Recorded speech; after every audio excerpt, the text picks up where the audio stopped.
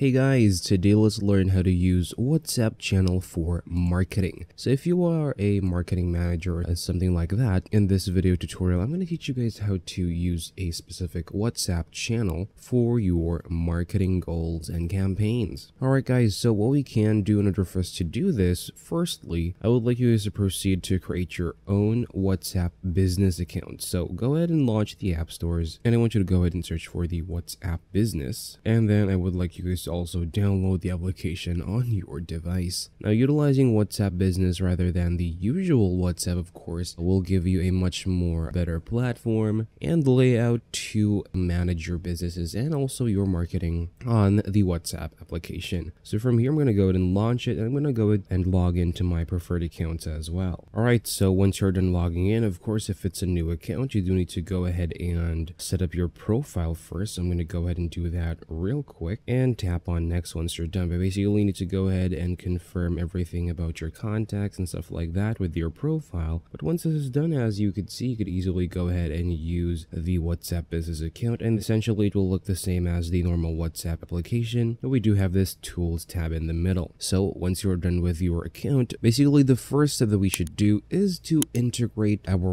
WhatsApp with other communication platforms. So let's say, for example, we are also using the Facebook application application to post about our specific business, we could also go ahead and add our WhatsApp contact to that so that people could contact us through WhatsApp and stuff like that. Same goes with Instagram and other platforms as well that could be linked with the WhatsApp application. Now, of course, doing that option, people could actually send you a message through the WhatsApp business platform, and you're going to receive those messages through here. So if you are using a specific WhatsApp channel for marketing, you could either go ahead and add those people who have messaged you over on a specific WhatsApp channel that you have created for marketing and handle your marketing concerns, campaigns, and stuff about marketing over onto that channel together with your people people who inquire about your business. And of course, doing so could actually as well be towards the goal of, well, business success. And that's all for this video, guys. Thank you guys for watching. Please like this video and subscribe as well if you guys learned something. And I'll see you guys on the next video.